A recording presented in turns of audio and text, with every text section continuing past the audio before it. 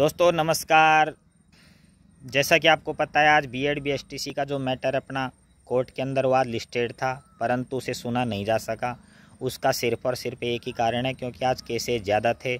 300 case अपने case से पहले उसको सुनना था 300 केसों आपको पता है, एक बजे तक कोर्ट का टाइम होता है, एक बजे तक सब कुछ नहीं सुना जा सकता।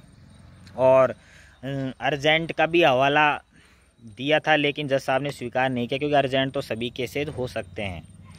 तो बात यह फिर भी हमारे एडवोकेट पैनल के द्वारा ये अच्छा प्रयास किया गया कि इसे जल्द ही 20 तारीख को लिस्टेड करवाया और वो भी अर्ली स्टेज के अंदर आप देख सकते हो कॉज लिस्ट के अंदर। यानी 20 तारीख को अपना मैटर ये पहले सुना जाएगा, और तेरह से जो बीस तारीख है, यानी कि सात दिन के अंदर कोर्ट भी दोस्तों तीन दिन ही खुलेगा, और इन तीन दिनों के अंदर कुछ विशेष केस ही सुने जाएँगे। तो बीस तारीख के लिए आप थोड़ा धैर्य बनाए रखें, जो कुछ होगा वो अच्छा होगा। सच का साथ देता है, भगवान दोस्तों ऐसी बात नहीं है।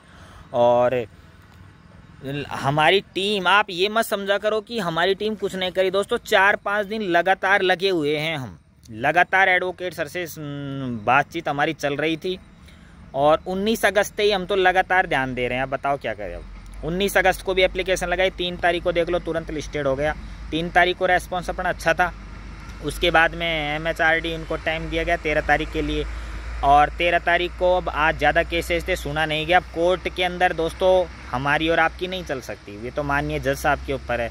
उनके ऊपर डिपेंड करता है कि वो किस केस को कैसे, किस प्रकार कैसे सुने। तो दोस्तों, इसमें हमारा वश नहीं चलता है। अगर इसमें हमारा ही वश चलता तो आज हिमाचल वालों को और इतनी इनको दो दो ढाई ढाई साल थोड़ी लगते, बिहार को और हिमाचल को।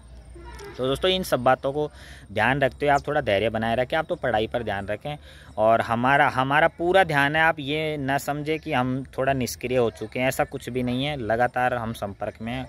अभी भी एडवोकेट सर से बात किया, तब आपसे बोल रहे हैं कि ऐसा, और 20 तारीख को शायद हो सके वहाँ तक जवाब भी सबमिशन भी पेश हो जाएगा भारत सरकार की तरफ़ से। और हमारी एडवोकेट जो टीम है, वो तो तैयार है, यानी कि जब भी जवाब आएगा ना, तुरंत पैरवी, तुरंत तर्क वितर्क चालू हो जाएँगे। ये नहीं है कि हमारी एडवोकेट सर द्वारा वो लिया जाएगा टाइम कि आज सबमिशन ये आया तो हम इसका रिप्लाई थोड़ा आपको बाद में देंगे। ऐसा कुछ नहीं हमारी एडवोकेट टीम है, वो हैंड टू हैंड आर्गूमेंट रखने के लिए तैयार है, पूरी तरीके से तैयार है। और आज एडवोकेट सर ने वास्तव में काफ़ी कोशिश करके 20 तारीख को लिस्टेड कराया है। कैसे भी करके आप धैर्य बनाए रखें दोस्तों, धन्यवाद।